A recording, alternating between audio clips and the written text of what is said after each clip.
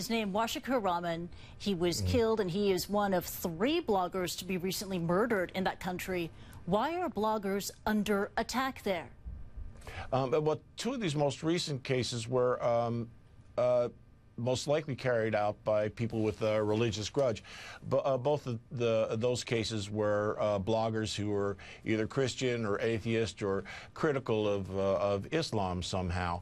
Um, and I think what you're seeing in, uh, in Bangladesh is, is a, a, really a growing intolerance uh, towards people who would make critical, disparaging remarks of, of, of, of, the Muslim faith.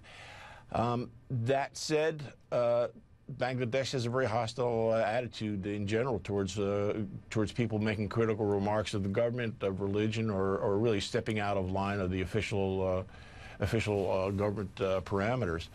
Uh, Bangladesh is is not a country where you see growing press freedom, let alone increasing space for bloggers to operate.